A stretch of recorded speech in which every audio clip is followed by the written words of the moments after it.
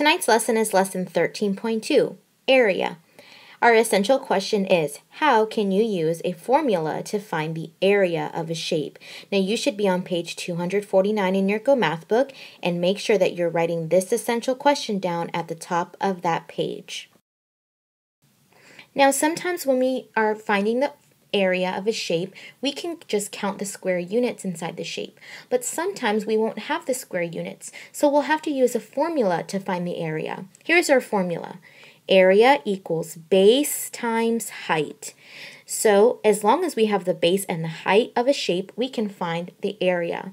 Now notice the base is the bottom of the shape. It could also be, if the sides are equal, the top of the shape. Our height is how tall the, the shape is. So that would be the number on the side. And it's if both sides are equal, it would be on this side as well. As long as we can multiply the base times the height, we can find the area of the shape. Number one in our Go Math book says, find the area of the rectangle or square. Well, we have a rectangle. And we know that we have a base of 12 feet and a height of 9 feet. So let's remember our formula for to find the area of a rectangle. We know that its area equals base times the height.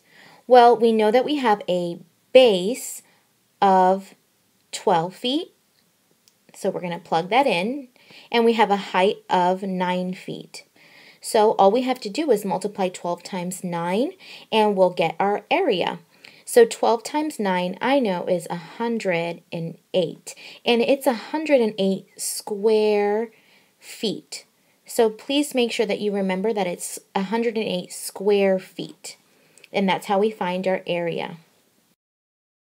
Okay, let's look at number two we have to find the area of this square. Now I know that it's a square because you can see that the height and the base are the same. So that means that remember a square has all equal sides.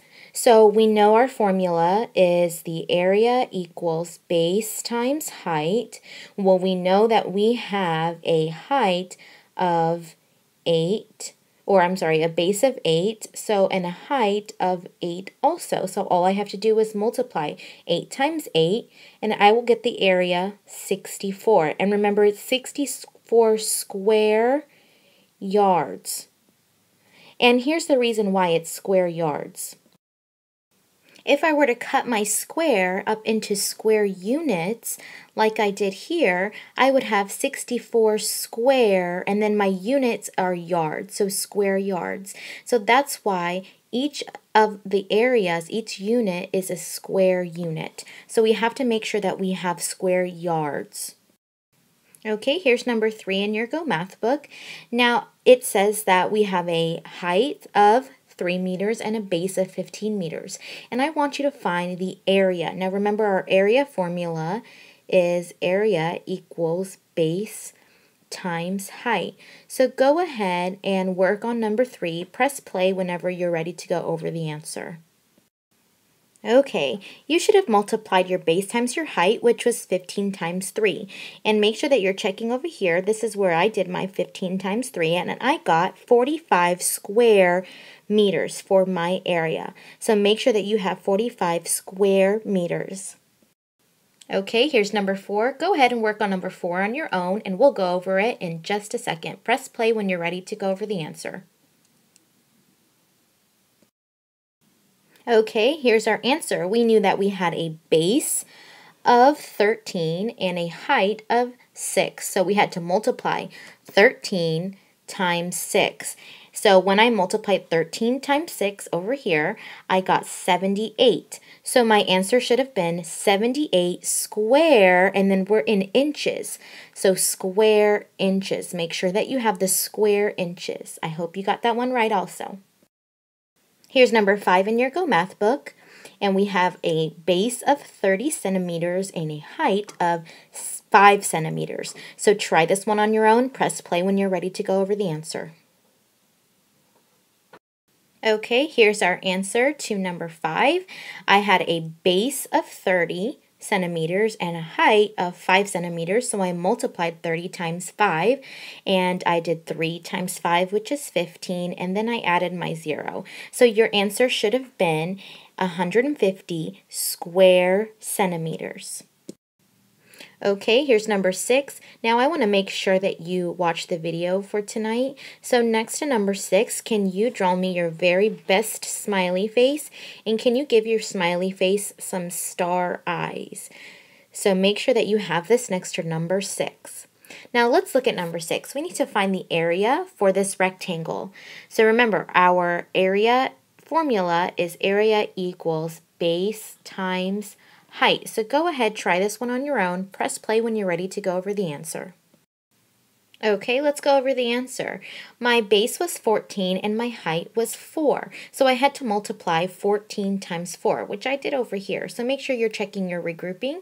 And when I multiplied 14 times 4, I got 56 square feet. Or make sure that you have 56 square feet. I hope you got that one right. Okay, here's number seven, our problem, problem solving question. It says Megan is putting wallpaper on a wall that measures 8 feet by 12 feet. How much wallpaper does Megan need to cover the wall? Now, that word cover is a clue word for me, and that tells me to find the area of the wall that she needs to cover with her wallpaper. So go ahead and work on this problem. Press play when you're ready to go over it. Okay, here's our answer for number 7. You should have multiplied 12 feet by 8 feet, and you would have gotten 96 square feet. A good way to show your work on this problem is to draw the actual rectangle and put your 12 feet and your 8 feet for the base and the height. And here's how I regrouped to, to multiply 12 times 8. So you should have gotten 96 square feet. I hope you got that one right. All right, here's number eight in your Go Math book. It says Bryson is laying down sod in his yard to grow a new lawn. Each piece of sod is one foot by one foot square. How many pieces of sod will Bryson need to cover his yard if his yard measures 30 feet by 14 feet? Now go ahead and I would draw a rectangle for this one and work out the problem. Press play when you're ready to go over it. Okay, our answer should have been 420 pieces. That's how many pieces he will need to cover his yard that measures 30 feet by 14 feet. It's right here. And all we had to do was multiply 30 feet times 14 feet, and I did that right here. So make sure you're checking your work and we should have gotten 420 pieces. Remember, they wanted to know how many pieces of sod will Bryson need to cover his yard. So I hope you got that one right. Here are the homework questions for tonight. Now, for number one, you're going to have to find the area for Ellie's model and the area for Heather's model, and then you'll need to tell me which model represents the greater area and how much greater is it. For number two, you're going to have to find how many pieces of square carpet Tyra will need. And make sure whenever you get done with numbers 1 and 2 that you also do questions 3 through 6 on page 250. At the top of page 250, make sure that you are assessing yourself and telling me what level you think you are after doing the homework. Here are the homework questions again. Good luck tonight, and I will see you tomorrow. Bye.